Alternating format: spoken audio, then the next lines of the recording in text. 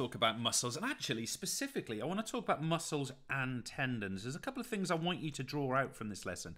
I want you to draw out the role of both muscles and tendons, but specifically, I want you to notice that there are. Oops, I went too high there. Let me come down a bit further. I want you to recognize that there are pairs of muscles that work together. That's going to become important to us later on. And as I said before, we're going to look at the role of tendons. Okay, so that's going to come through. And there was actually a third thing. I want to talk about the muscle, uh, the movements that each of these muscles actually produces. Okay, so where relevant, I'm going to talk to you about muscle movement. So let's actually get started with that and see how we can make progress. So typically what we do in a lesson like this is I'd show you an image here or an image here of the whole kind of muscular system and then we'd analyze it. We will come back to that at times here, but what I want to do is I want to sort of almost section the body up and look at individual muscle groups. So let's name first of all. And by the way, naming these things really isn't our target today. We do need to know these names, of course we do. But more than that, I want you to understand what they do and they role, the role they, they play. So this one here, see if I can write it a bit better. It's called the latissimus dorsi. This is a D, crikey, not the best handwriting. Latissimus dorsi. Now, what does this muscle actually do? Well, as you see, it sits here on the back and it's kind of wing shaped. I'm drawing around here. Now, if my elbow, sorry, if my shoulders were up kind of in this position, maybe I'm pulling maybe I'm pulling a bar down from uh, above on some kind of pulley. If I was to pull down in this direction, down in this kind of direction, this latissimus dorsi would be the primary muscle that actually caused that, okay? Let's, let's move forward. We're now going to look at this muscle here. Notice I've got two images of this. I've got the deltoid muscle here. So these two are both the deltoid, okay? Now we can actually almost recognize the deltoid as almost three parts of it. It's got like the front bit, the back bit, and this bit over here is like the side bit couple of things I really want you to be aware of. The deltoid is responsible for the shoulder moving here, here, here, here. This is what we refer to as abduction, okay?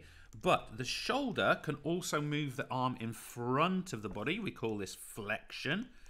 It can also move the arm behind the body. We call this extension of the shoulder.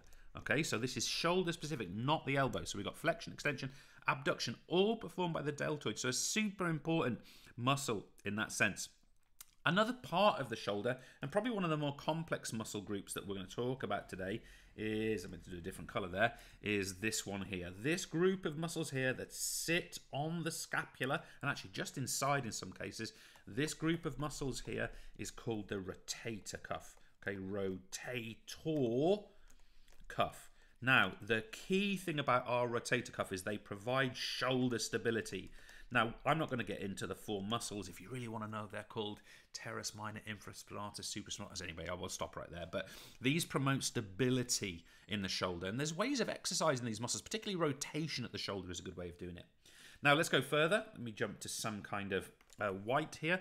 We've got these kind of chest muscles. Now, we're not going to get marks for chest muscles. We need to refer to these as the pectorals. Now, you'll notice that this is a plural, pectorals. This because this is a muscle group. There's actually more than one muscle. Uh, the, we're actually seeing the pectoralis major there as the main one. There's other muscles underneath. Now, these muscles are important because they are breathing muscles. We're going to look at other examples of these in a second. They do other things too. But these muscles are particularly important in what we call inspiration. And by inspiration, we are talking about breathing in during exercise. So when we're exercising, these muscles actually contribute to breathing. Now, this one I reckon a lot of you will know. Muscle on the front of the fore, uh, of the upper arm here. Of course, this is our bicep muscle. So if this muscle contracts and shortens, and remember, although muscles can contract and lengthen, all muscles can do is pull. That is the only thing a muscle can do, okay? So when this muscle pulls here, it makes this arm, specifically the elbow, flex in this way. So we get elbow flexion, elbow flexion from uh, the arm here.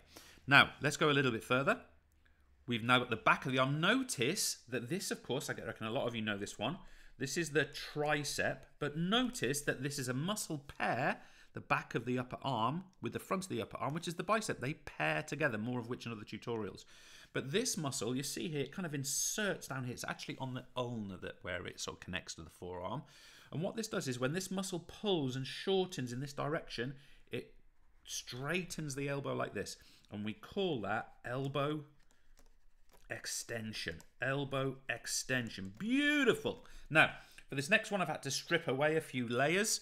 These are our abdominals. Now, just be aware that, again, abdominals is a collective term. We are specifically looking at the muscle, the rectus abdominis. More of that when you study further. But this muscle here is a super important one. A couple of reasons. It is also a breathing muscle okay? And it's involved in breathing during expiration or breathing out during exercise only, actually, breathing out. So it's a breathing muscle. But the other thing, of course, is if this muscle kind of con contracts and shortens this way, it does like a crunching action. We can call that flexion of the spine. But it just sort of brings your body into like that crouch position, right? Now, this next one, maybe you're not sure what these muscles are here. There's a pair on either side. These are called hip flexors. There's actually two muscles. One's called the iliacus, the other one's called the psoas. It doesn't matter for this level. But they're called hip flexors. So what do they do? They flex the hip. Okay, no surprise there. Now remind yourself that flexion is the leg coming in front of the body, and extension is the leg going behind the body at the hip. Okay, so when your running leg goes in front of you at the hip, that's a flexion. When you sort of kick it back behind you, that's extension. So really nice that we can recognize the differences. Now, of course, the pair of that muscle, or the group, is the gluteals. Okay, so these are the gluteals. Now, again, there's multiple muscles in here. We're actually showing the gluteus maximus, but we'll talk about gluteals. Now, this muscle, what this does, when it contracts, it pulls the leg behind in this direction. So that, of course, is hip extension. So guess what? Our hip flexors and our gluteals work together as a pair. Now, I love the angle of this particular image. Notice I got this one on the slant. These muscles at the back of the upper leg here, here, these are the hamstring group, okay? Or let's just refer to them as the hamstrings. Now, when they contract and shorten, shorten, they flex the knee. And this is for knee flexion. Lovely. Of course, they have a pair. Most skeletal muscles do and the pair. And by the way, notice here one, two, three muscles in each of those groups. I'm not going to name them here, that's for future study, but just know that they're there.